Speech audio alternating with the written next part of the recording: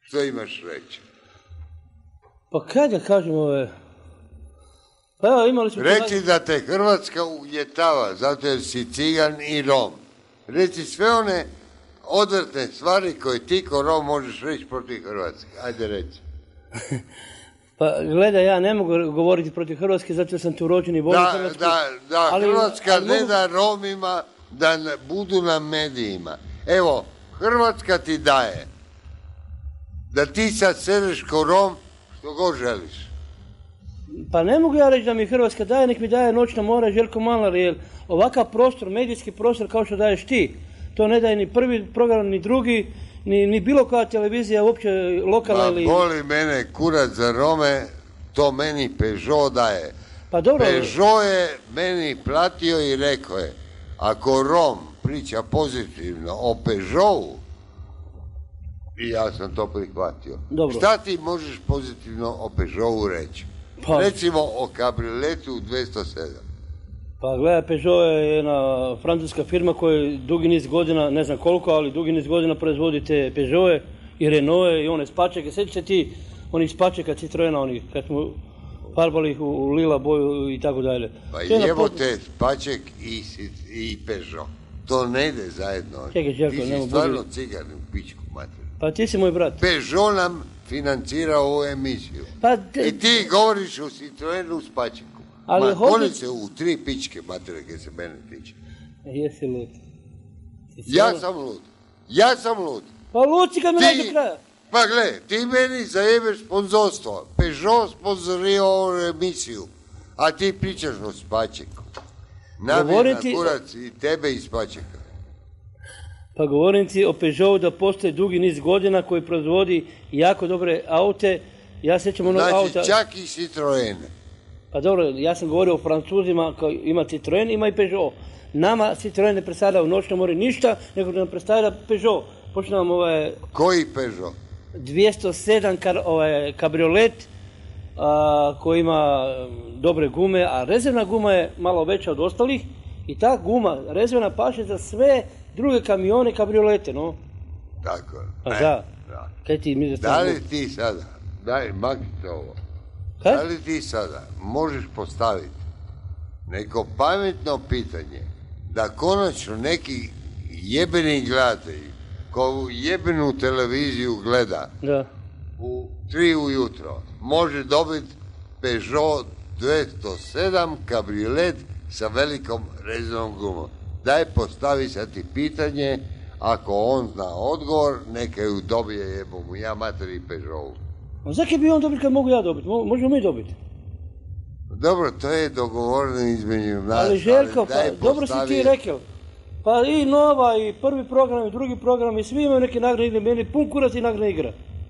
Zakaj mi ne bi uzeli sebi taj Peugeot 207 kar, ka, Ali kabriolet? daj ovim idiotima koji te gledaju barem nadu da će dobiti Peugeot. Pa ja mogu Daj- postaviti pitanje, evo, ko pogodi Ajde. svaka mu čast. Ajde. Ko će E, na sljedećim izborima biti predsjednik Republike Hrvatske? Ti slažeš s time? Kakve to veze ima s Peugeotom jebo mu ja mater? A u vezi Peugeota da govorim? Da, Aha. Jebi ga. kada je prvi krov, recimo, u, u, u, u seriji 206 se pretvorio u pizdariju koja se danas kupe na tržištu kao 307. O, Željko, to je komplicirano pitanje, brate. Dobro, ajde ti onda svoje. Pa dobro, u kojem se gradu u Francuskoj proizvodi Peugeot? E, bravo, a evo telefoni. U Parizu sigurno nije. Moj kurec u Parizu. Pa nije u Parizu, Ma- da. ma nema A, ne može u Parizu proizvoditi kad tamo... Nemoj davati odgovore. Dobro, ja U kojem se gradu proizvodi Peugeot? Tako je. Halo? Halo? Nemate pojma. Halo, Halo? dobra večer. Dobro večer, kaži. Jesi, jesi kužili pitanje koje? je? E, ne, ponovite, molim vas. U kojem se gradu u Francuskoj proizvodi Peugeot? Pički materine. E, sad to, to je... To je Ne, ovaj, e, ovaj Malnar seljačina,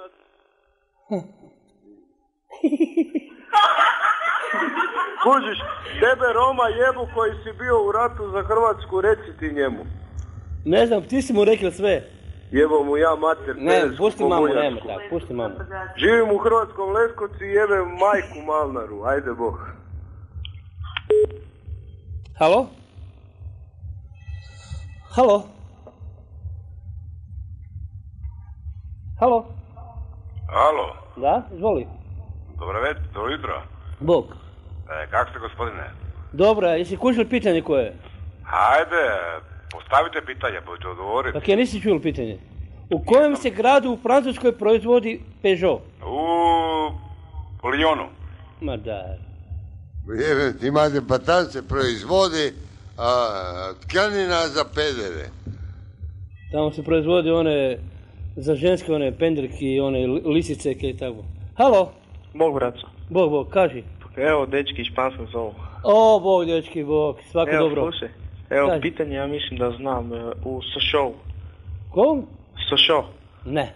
ne. Nije? Nije, nije. Aj, ali blizu si, ali nije. Ništa. Halo? A koje je pitanje, braće? Pitanje je, u kojem se gradu u Francuskoj proizvodi Peugeot? Koji? 207? Ma, 207 ka- kabriolet koji ima četiri gume plus jedna veća od ovih četiri i koji paše na sve aute i na ove kamione, ove isto ove kabrio, kabrio, I kao ti znaš od, odgovor. za kaj? U kojem gradu? Da. Ja znam. U kojem gradu? U ovome, gdje igra ove... A nemoj reći to, pa to je onak- Pa onda nema me vući za jezik. Halo?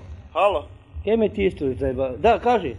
Ja volim dobar ritam i volim plesat breakdance, ja volim cigaricu i disco ples, ja volim rumbu sambu i ritam rock'n'rolla. Svaka čast, dobar si. Aj Bog. Bog. Halo? Halo? Evo ću reći u priliku dok niko se ne javi, pozdravljam sve dečke iz Španskoga, pozdravljam dečke iz Sinja i tako. Moju Dalmaciju, moju Slavoniju. Ti dečki iz Španskog. Da, da. a, ja imam informaciju. Mrze da je cigan na mom programu, ubit ćete čovjek. Ma, kaj će mene ubiti? Kad me nisu ubili 91. neće ni 2004. Pa ja sam rob za domu čoveče Bože. Nisam ja papa ko ti. Halo, Ej, dobro večer, Bog, prijatelj. kaži. E, kad ja sretnem cigana utičem, ja ću ga pojubi i radi tebe, prijatelj, samo da znaš. A boli me kura di se Peugeot prozva, jer tako da znaš. Ma da, hvala Bog. Živio. Halo? Cigane, pizdo jedna, dobivaš poene, ko cigan. Eto što ti je televizija. Pa zato, zato ovi- Svaka pizda ti može nazvat i reći da si dobar i, i ti ko pizda ćeš to shvatit kao potvrdu. Ajde, Jebi ti, kurac.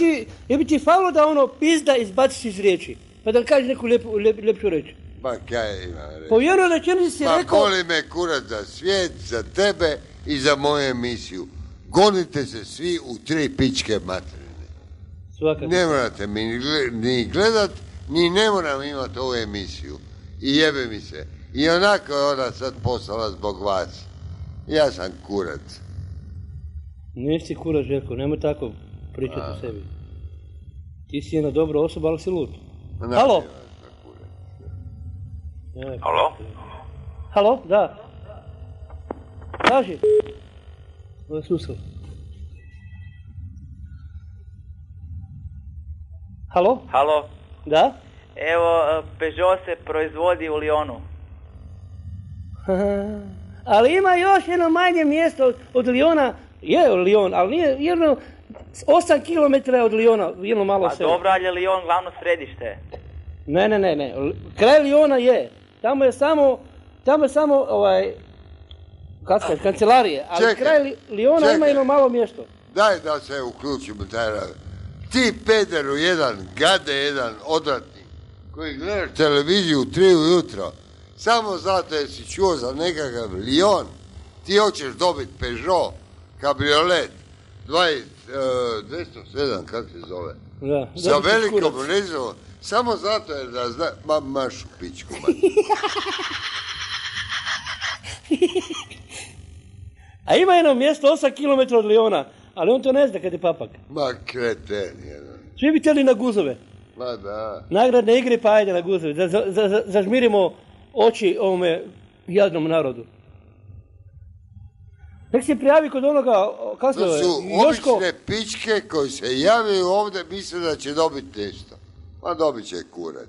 a to su ovi koji se javljaju kod ovoga Joška Lo- Lokice, kako je, Joška Lokac. Morića. A kako? Joška Morića. Ne, ne, ne, Joško, Joško Loka, Luki, Lo- A isti kurac. ma da. Halo? Pičku materinu! Ove, dobar za ministra kulture. O, ja bi tebe odbro za ministra. Kak si fin, pristojan, svaka ti čast. Joj, ljudi moji, ove Zagreb moj, koji sam rođen, ke svašta trpi. A? Kreteni. Halo, A dobro da te mi nismo izbacili. A ko vi? jedna. a ko, ko će mene zbaciti mog Zagreba? Mi, pripadnici temeljnog naroda. Ajde, kurac. Halo, Cigane u logore! pa bili smo, ali više nećemo ići. Sad idemo u Evropu. A i Evropa isto će biti logor. Jer Evropa će se raspati za jedno Halo, 10 godina. Halo, jedan vas sve u cvajera. daj prevedi sam sebe, molim, tak možeš.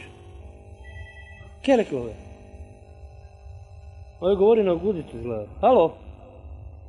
Puši kurac. Stara fora. Bez. Halo? Moj, moj braco, Kaj je? tako ti izgleda Hrvatska. Evo, tako ja- ti izgleda Hrvatska, upravo tako kako ti se prikazuje. I nemoj mi tu uzdisat, i nemoj biti iznenađen, Nisam jer to ti je Hrvatska u kojoj živiš. Istina je. Istina, Željko. Sunce moje Ali nema druge domovine osim Hrvatske, to je... sunce moje lijepo, pa makar si i Rom. Ali Ja, si moj, ali si moj. Pa znam, I i- ne dam te. ja sam, znam ja da sam ja tvoj, ti moj, ali ovaj, jadno je to sve kad ovako živimo, što kaže sam, da smo svi u kurcu, istina je to.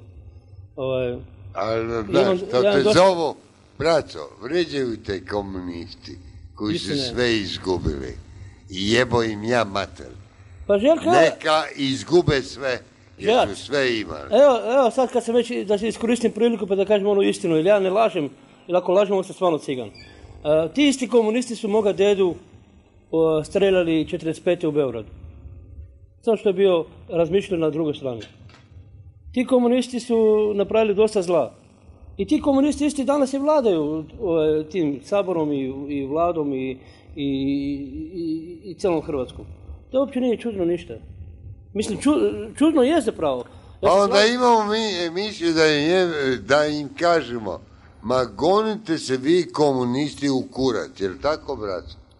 Pa istina je to, Željko, da se oni gore, gone u kurac, ali gledaj, stolica, svaka stolica je e, lijepo udobno sjediti, bez obzira da si komunista ili ovo. Pa gle, ako, ako se pobune, ne ubiju tebe, nego stave mene, jer ja ću voditi ponovo emisiju koja će se zvat, zvat ovako, emisija o žrtvama komunizma.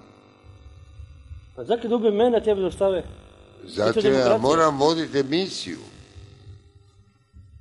Kužiš? Pa neko ubije tebe, a mene dostave, pa ću ja zvati emisiju u noćni Ma kurac. nabijem ih sve na kurac. Nek idu u tri pičke materine i nek shvate da je njihovo vrijeme prošlo. Ma to mi možemo... I, I nek se ne furaju kroz izvršne odbore, kroz Mjesne zajednice. mjesne zajednice, nek idu u tri pičke materine. Neka komunisti shvate da je gotovo njihovo vrijeme u Hrvatskoj. Jer se slažeš s time? U potpunosti. U potpunosti. Samo, ž- ž- opet kad, kad pogledaš onaj taj sabor koji ima koliko, 158 Ma zastupnika. ih sve na Pa ja vjerujem da ima 30% Svi su komunista. bili članovi komunističke partije, ili mladi ili ovaj kao Vujić koji mi je rekao, ušao sam u partiju da se borim iznutra protiv. Ma nabijem te na kurac i tebe i partiju. Pa dobro, sad, čuj. Ne znam šta A u tom smislu je i naš prijatelj Mesić. On je previše živio u komunizmu da bi mi njemu vjerovali da će on novoj, mladoj Hrvatskoj nešto znači. Ma boli me kurac kad on dobro priča viceve. Kaj, poz, kaj poziva... A znaš ti, Željko, na- Ma ne, gledaj, Mesić je završio u tom smislu u Hrvatskoj. Svati cigane jedan.